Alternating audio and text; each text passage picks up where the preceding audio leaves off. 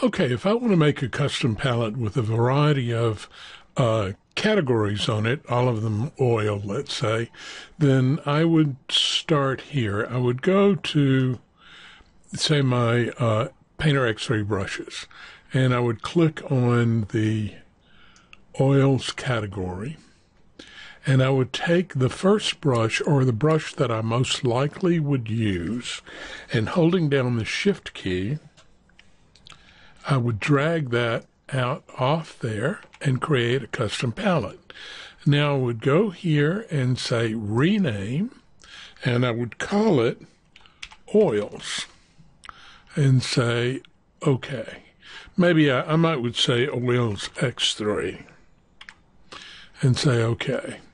And then I would say view as text and it would be oils X3.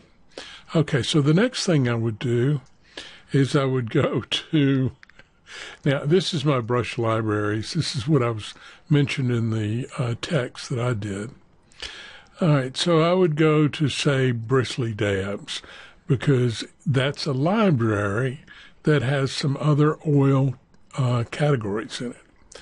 So I would grab, say, bristly dabs, and again, I would take the first one or the one I like the best, drag it over here, and I would view as text and I would rename it Bristly Dabs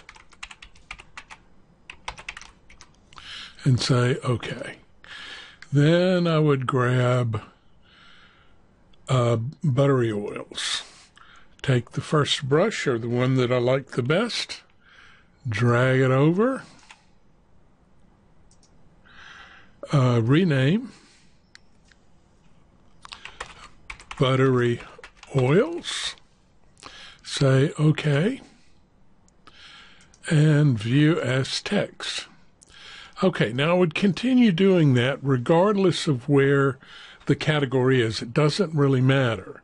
So then I would go up to Window, Custom Palettes, Organizer, and I would go down to my Custom 37. I need to clean these up. And I would rename that oil categories and say, okay, and then done. All right, so now my custom palette is called oil categories. I can click here and I'm automatically taken to the oils category brushes.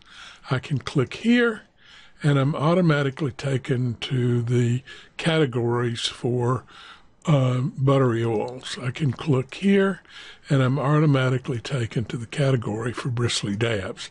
Doesn't matter if they're in multiple libraries or not. This just now you can put all of your categories together that are oils. Then you could do another one of these that has all of your watercolor categories. Okay, hope that helps. Bye.